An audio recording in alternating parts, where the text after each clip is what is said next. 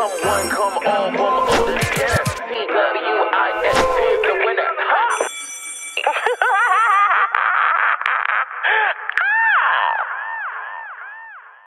So let's ease on into it, Allison. Cycle 10, America's Next Top Model. The show is celebrating its 10th cycle. It's a huge cycle. It's already a household phenomenon. Top Model is probably in its peak right now, like in this moment. Like Top Model is a thing, full-fledged thing. What made you audition for the show? Well, I remember watching the OGs, right? Like Adrienne Curry, and my favorite was Elyse Sewell. And she later became my roommate, like ironically, very, very long after the show for a very brief stint of time when I was. Elyse was your roommate? Yeah, that's what Elyse Sewell. And it was such a, it was just such a small world because I was, she was one of my favorite original ones from the first cycle. And um i want to say it was 2008 or yeah um 2008 where um we became roommates in shanghai which was so weird because i'm like looking at i it, yeah it was like being in the twilight zone so obviously i didn't want to because i knew it was like for every former antm contestant what we get so annoyed with hearing is when people are always asking the same generic questions like is tyra nice or blah blah blah. So I did not even acknowledge that I knew who she was, and I didn't think she knew who I was because obviously my time on the show was short lived, and a lot of us who have already been through that machine of ANTM. Um, we don't really want to watch the show, or I, I can't speak for everybody. At least I didn't want to watch the show after my time was over. And if I'm really being honest, I didn't really want to watch any reality TV after my time was over. After I saw um, how it's all construed and how it's all developed. But anyways, back to Elyse. Yeah, it was just really funny when I saw her. I mean, it was a very short-lived like roommate stint that um, kind of overlapped with our contracts in Shanghai. But yeah, it was pretty crazy and just I, just realizing what a small world it really is.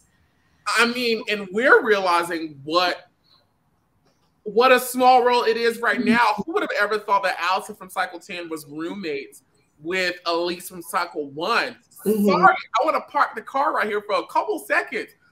How was it living with Elyse?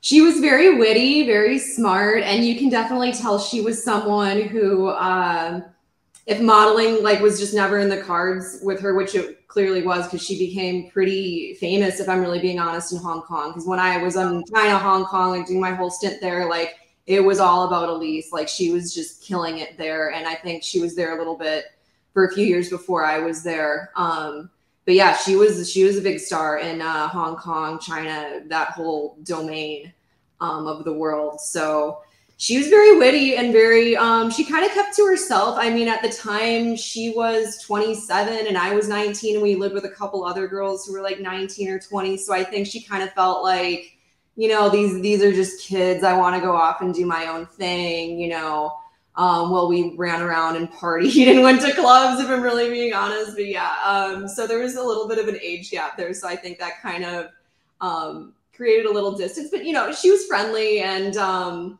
you know, I kind of revealed to her, I'm like, okay, well, we have something in common.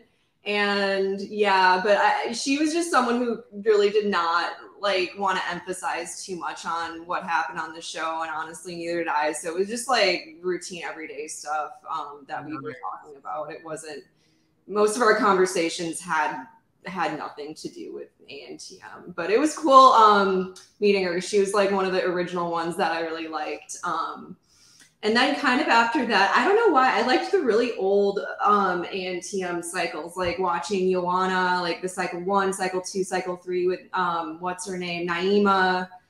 Um, I don't know. There was just a certain authenticity about the first couple cycles that I um, really liked, and maybe it's just the nostalgia in me and kind of like taking me back to my high school years that um, I think of when I think of like the very early cycles. But I think as time kind of went on and like there were just later cycles and then there was like cycle 17 or i don't even know how many cycles there were i just think that it kind of it kind of started out like they would do these photo shoots where it would um, like you would be asked to do it as a model in real life like these types of photo shoots but then they just kept getting stranger and weirder and then i kept thinking to myself and like later on i'm like would an agency really make a girl do that, or would a photographer really make a girl do that, or do they really care that about that much? Like, who are you really in real life? Because most photographers I've worked with, all they really care about is getting that one decent shot, and then like they're done. You they want you to move on to the next look, but um it just kind of became more about like the showmanship and selling a reality TV show, or just maybe they were just trying to come up with fresh ideas and they just didn't want to regurgitate old ones or original ones. So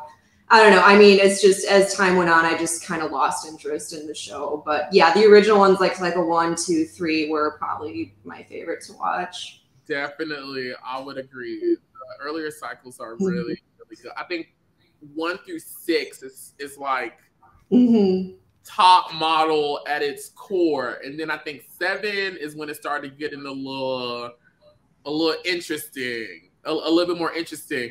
Do you still talk to Elyse? No, no, I don't. I mean, there's a couple girls that maybe will comment each other here and there, like on Instagram, some on our posts or whatever. But I don't think I've consistent. I mean, it's been 15 years ago, and I feel like everyone's diverged so much, just kind of being on their own path. So, no, I mean, life just kind of went on from there. So mm-hmm. it's just it's it's a fun memory, I guess, to look back on. Come one, come all,